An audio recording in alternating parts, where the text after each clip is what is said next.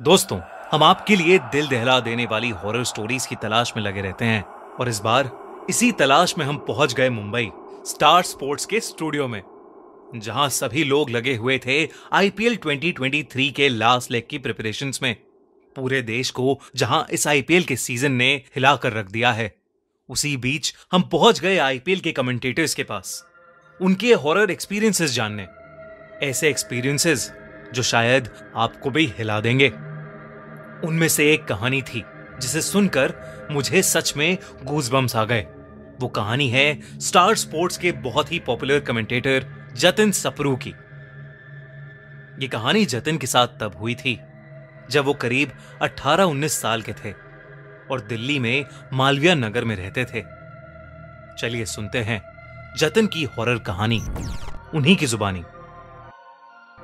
यार I never thought कि actually मैं बात कर रहा हूँ इट इज़ वेरी फनी मतलब I had experience a little bit और मैंने आज तक एक्चुअली इस मतलब अपार्ट फ्रॉम से very close to friends and all of that कभी बात ऐसी होती नहीं है। मतलब नेवर ऑन मीडिया मेरे को पता नहीं था ये चैनल एग्जिस्ट भी करता है बट अब तो सीधा सब्सक्राइब मारने वाला हूँ मैं। Actually we moved a lot of houses growing up तो एक घर था जहाँ पे पता नहीं क्यों मेरे और मॉम डैड को लगता था कि कुछ अजीब सा है। एंड वो मतलब घर था एक्चुअली एक ट्रेन कंपार्टमेंट की तरह। ओके देयर बाहर वरांडा उसके बाद एक बहुत बड़ा लिविंग रूम उसके बाद एक बेडरूम फिर किचन दूसरा बेडरूम और पीछे all the washrooms and bathrooms first incident that happened in the house is actually beautiful one हम लोग एक्चुअली मंदिर से वापस आए थे आई थिंक कोई अच्छी चीज़ हुई थी तो सेलिब्रेट करने गए थे। uh, मंदिर में और वहाँ से वापस आए and we just open the door almost felt like you entered एक वो थे ना फूलों की मंडी लाइक अ फ्लावर मार्केट कि जैसे अंदर किसी ने और ये भी नहीं कह रहा एक गुलदस्ता रखा हो। It just like you open और किसी ने जैसे एकदम फ्रेश रोज का एयर फ्रेशनर मारा हो। एंड एक भी फूल नहीं था, घर में कोई आवाज़ भी नहीं था। But it just stayed it stayed for about twenty twenty five minutes just that fragrance it just stayed in the room and there was no source कोई सोर्स नहीं था उसका। Think was in first year college के आसपास। So इसके कुछ time के बाद तो उस टाइम पे हो गया था कि यार, कुछ हुआ है ना just kids you just say parents talk about it like कुछ तो होके निकला इस घर से भाई। एंड क्योंकि एक ही टीवी था, वो टीवी लिविंग रूम में था। और मैं पढ़ा हो गया था तो मैं उस रूम में सोया करता था रात को because I used to watch TV and twenty first January I don't know which year it was I think it must be 2004 या 5 जिस भी year I think Bush was being sworn in for the second time को किसी की swearing in ceremony थी one of the American president which is why I was sleeping in that room my dad had gone to London वो trip पे गए थे living room में मेरी मॉम और मेरा छोटा भाई सो रहे थे एंड सर्दियां थी twenty first Jan I remember because मेरी मॉम का birthday so twenty night we are sleeping in there and like I told you right घर पूरा एकदम स्ट्रेट लाइन में फ़ोन की तार वो एक पैरेलल रिसीवर मेरे रूम में था। आ, तो उसकी तार जा रही थी और पूरी जो दीवार है अलोंग द हाउस उससे जुड़ी जुड़ी जुड़ी और जो वरांडे के पास एक रोशनदान था उसमें हल्का सा कट किया हुआ तो उससे बाहर निकल रही थी। सो रात हो गई है सो रहे हैं मैं वो स्वेरिंग इन सेरेमनी उसमें स्लीप होता था टीवी पे स्लीप दबा के सो गए।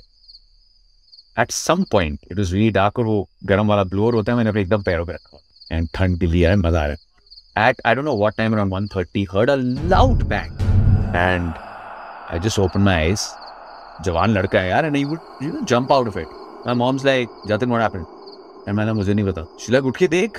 I like I can't get up I just can't get up so I had like the blanket till here and I literally felt I was trembling and had gone cold आवाज़ आई है, कमरे से आई है, कहाँ से आई है, नहीं पता. And शिलक get up and I like mom आओ मैं उठ नहीं सकता.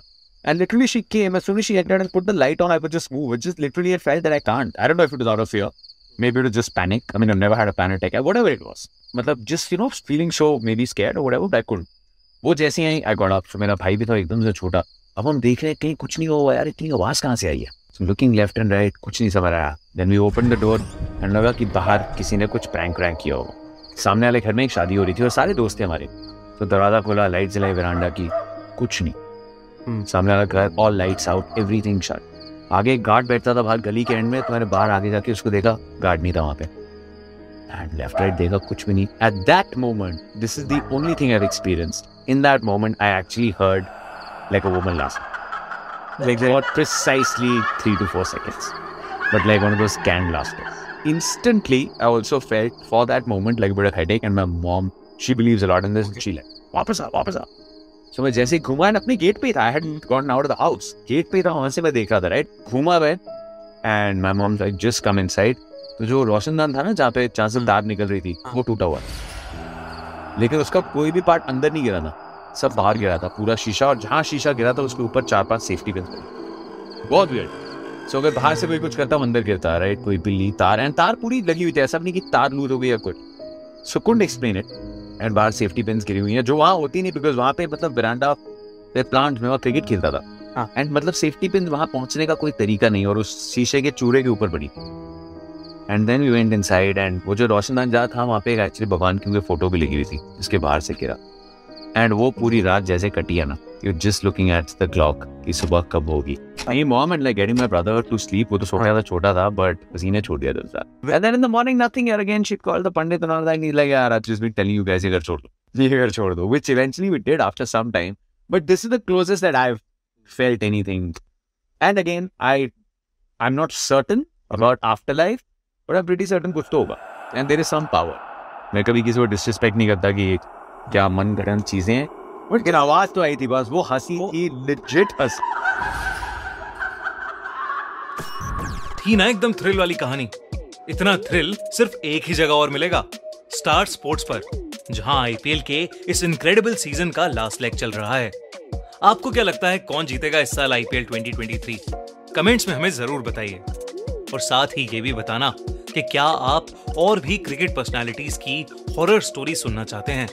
ये वीडियो पसंद आई तो चैनल को करो सब्सक्राइब और इस वीडियो को करो लाइक और शेयर और देखो टाटा आईपीएल के प्लेऑफ्स और फाइनल्स बड़े स्क्रीन पर सबके साथ सिर्फ़ स्टार स्पोर्ट्स पर।